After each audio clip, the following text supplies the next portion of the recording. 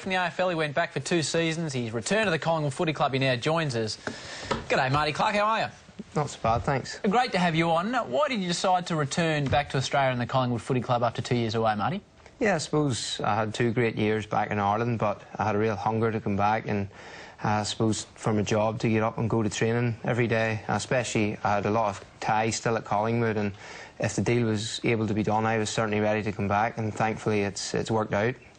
I want to ask you, uh, all the Irish boys that come over can all run. We know that. What what game do you run more in? I mean, I went over and played in the uh, series back in '98 and thought that you know they're, they're, very good athletes. For guys that don't train professionally, they can just run, run. What game do you run more in, AFL or, or Gaelic? Um, I think due to the sheer length of the AFL game, um, Gaelic's two 35-minute uh, halves compared to four 30-minute quarters, you could say, in AFL. So the sheer running, certainly AFL, but for short, sharp, intense um, running, it, it's Gaelic, you know.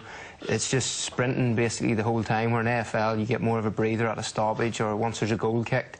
Um, so the boys in Ireland are equally as fit, um, but it's, it's, a, it's a different type of fitness, and obviously you don't have to be as big in the weights training in Ireland, so different type of athlete. So where do you rate quickly at Collingwood in, in fitness? In fitness, I'd be up there near the top, um, in terms of endurance especially. Yep. I was too, mate. Um, just, I, couldn't, I couldn't help it. I, um, I, do you realise how lucky you are? Because I, reckon I was shattered when you left. I really was shattered when you left. But I reckon being out of the game for two years, um, and the club gave up some pretty good draft picks for you too. So the, the faith that they've shown you has been quite enormous. Yeah, absolutely. And I know how fortunate I am. And I suppose every day when the alarm goes off, at, at 8 a.m. or whatever time uh, training's on. Yeah, or, yeah poor thing. yeah, that must be shocking. Um, I, am delighted to get up and, and know how lucky I am to be back into yeah. a great organisation. And, um, you know, I, I, completely understand and I just want to repay the faith in every training session I have, every game I get a chance. Marty, from what I can gather, my vast array of informants in Ireland tell me basically there's Bono and there's you in levels of superstardom in the entire side of Ireland. How much footy is being shown back in Ireland now? And is the game increasing in momentum with a lot of you boys playing out here now? Yeah, it's certainly there's a lot more. Um, it's a lot more available now with satellite TV and stuff. But I think if the AFL promoted their game, every, people love watching it. And in Ireland, because there's a few play, people know a few people, that might know me, might know Zach Tuohy, Setanta, Kennelly, someone knows someone who knows him, and before you know it, people are asking what AFL is, and it's really, uh, there's a lot of games being showed, and people love watching it. Obviously, it's a great sport, and very similar to our own GAA sport at home, so certainly it's a, it's a massive thing in Ireland for, for people following the few lads that are playing, but I think just to enjoy the spectacle it is AFL as well.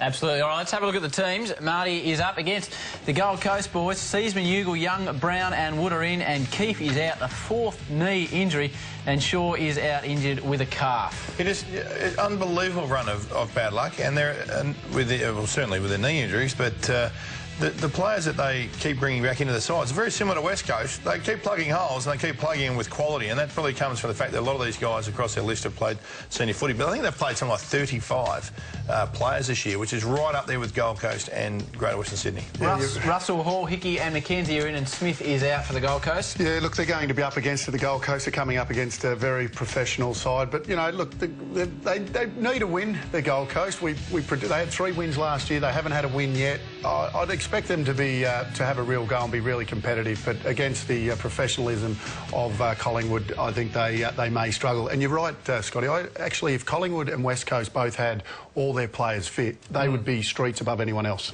Talking about injury, obviously Luke Ball's moved out of the side and out of the midfield. Ducky is out with a knee. Beams and side Sidebottom have stood up under, uh, remarkably well. Those two young men are playing fantastic footy for your footy mm. club.